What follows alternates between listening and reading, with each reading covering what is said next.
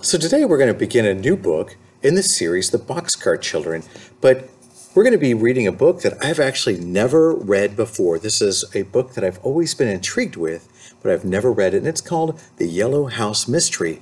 It's written by our author, Gertrude Chandler Warner.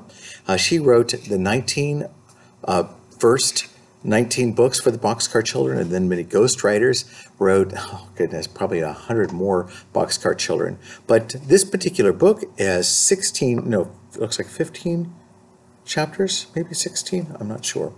But so the very first chapter we're going to, the very first chapter we're going to read is called The Cave. So this is again, once again, The Yellow House Mystery, Chapter 1, The Cave. Four lively children live with their grandfather, Alden, in a big house. The children's father and mother had died years before. Their cousin Joe lived in the big house too. He was grown up and his cousins thought he was great fun. First there was Henry Alden, who was 16 and in high school. Jessie Alden came next. She was in high school too. Violet was a pretty dark-haired little girl of 12 and Benny was 7. Benny was on his way home from school one day in spring. The minute he went into the house, he heard the telephone ringing. Then he heard Mrs. McGregor, the housekeeper, answer. It's for you, Benny, she said. She was excited. It's your cousin Joe. Benny went to the telephone. Hello, Joe, he said. We're going to have a blast, Benny, Joe called over the telephone. the men are almost ready to blast the top off the cave. They say that you children can come over to the island if you stay right with me. You get the others, and you come along. Okay, Joe, cried Benny. We'll come just as quickly as we can.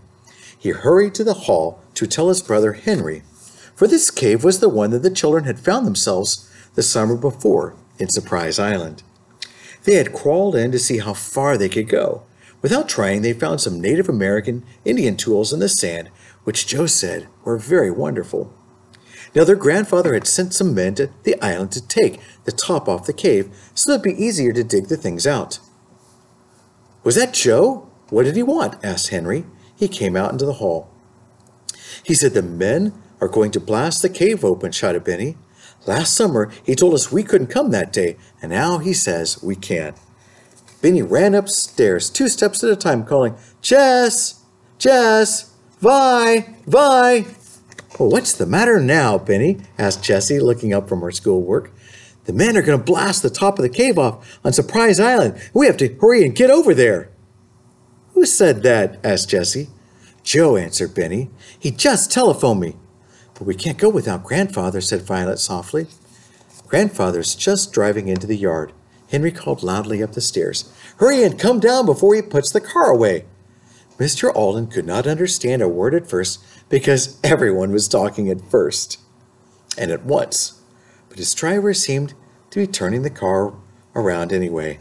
Mr. Alden was smiling to himself. Did Joe call you too, grandfather? cried Henry. Mr. Alden laughed. Well, we'll go to the dock and over to the island in the motorboat. I hope Captain Daniel will have the boat on the side, on this side, said Henry. Joe seems to be in a hurry and said the men won't wait for us for very long. Oh, I hope they won't blast until we get there, cried Benny. I don't think they will, said Mr. Alden, smiling. If Joe sent for you, he will wait until you have time to get there. Of course he will, grandfather, said Jessie. This, there is Captain Daniel on the dock already. It was true.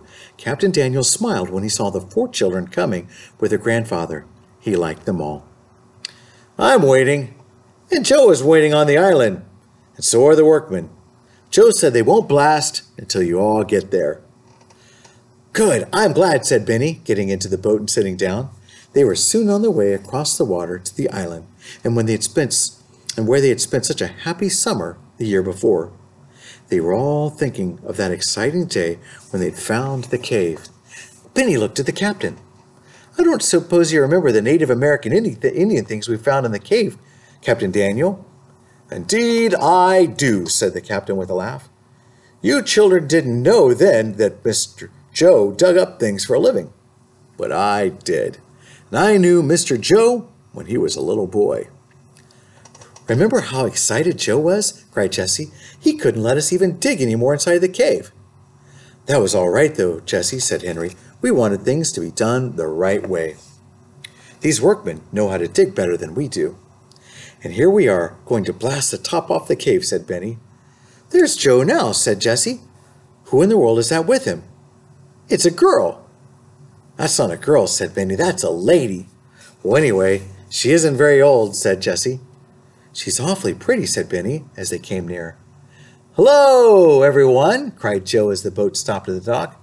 This is Alice Wells. She came over to look at the Native American Indian things you found. She knows a lot about such things. That must be interesting work, said Jessie to Alice, shaking hands. She liked Alice at once. She had such a beautiful smile. Yes, it is. I feel as if I knew every one of you. This is Benny for sure, and Violet and Henry. Joe has told me so much about you all. Joe smiled at Mr. Alden as if she already knew him well. Benny took Alice's hand. Let's go right off and see them blast. This is going to be fun for you, Benny, said Mr. Alden, smiling at the little boy. The men are going to let you push the handle to set off the blast. Oh boy! Where's the handle? Where's the handle? Joe led the way without a word. Past the little yellow house, past the barn where they'd lived that summer before, past the beach. There beside a crowd of workmen, they saw a handle in the ground. Here they are, said one of the workmen. Are you the little guy that's going to set off this blast?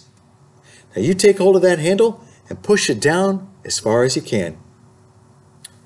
Benny did as he was told.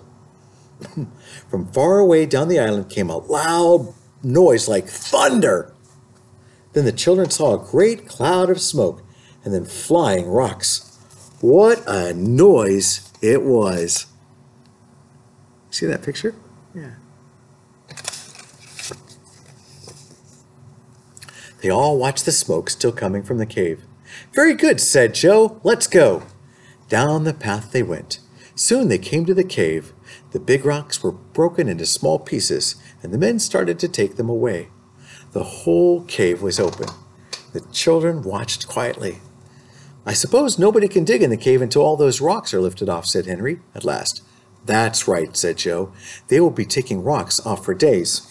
Really, there's nothing to see for now. You mean we'd better go home then? said Miss Alden. He winked at Benny. Well, I don't care too much, said Benny. Anyway, we blasted, and that's more than I expected.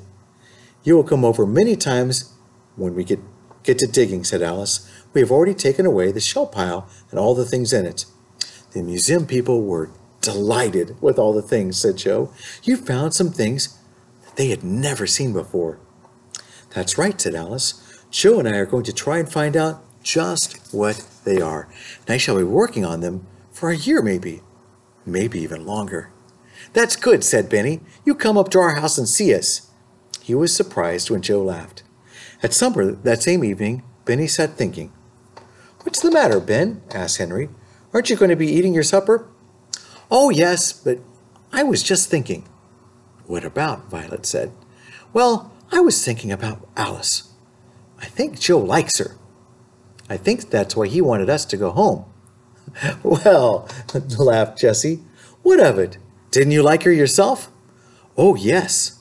I liked her a lot, but that's the difference. I think Joe is going to marry her. what? shouted Henry. How can you tell? Joe had just met her today. Oh, no, he didn't, my boy, said Mr. Alden. Joe and, and Alice, they went to school together when they were children. Alice had been away for a long time. She just came back to do this work for Joe. Well, I wish Joe would get married, said Jessie. It would be lonesome for him living all alone on the top floor of this house with a lot of children like us. And an old man like me, said his grandfather said her grandfather. But I tell you something. I watched Joe and Alice today, and I think Benny is right. But don't say a word. Let's wait and see what happens. Yes, let's, said Benny. But you'll see that they will get married, all right. Then he finally started to eat his supper. Now, usually I tell you what the chapter is next. I'm not going to tell you the chapter title because it will possibly give away what's going to happen next. So if you want to make a prediction about what you might think, I think the chapter title just might give it away. All right, I hope you've enjoyed the first chapter of The Yellow House Mystery. I know that I have, and I'm looking forward to chapter two.